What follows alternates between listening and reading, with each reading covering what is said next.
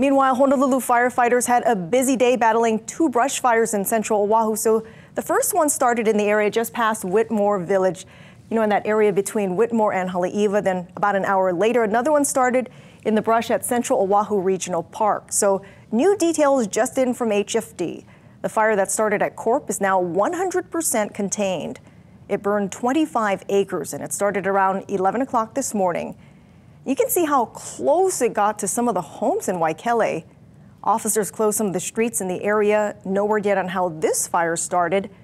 And then the other fire, this one is not fully contained.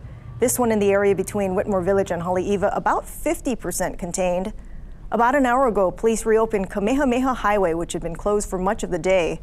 This fire broke out just after 10 o'clock this morning. And HFD says they've suspended firefighting operations for the night because it's so dark.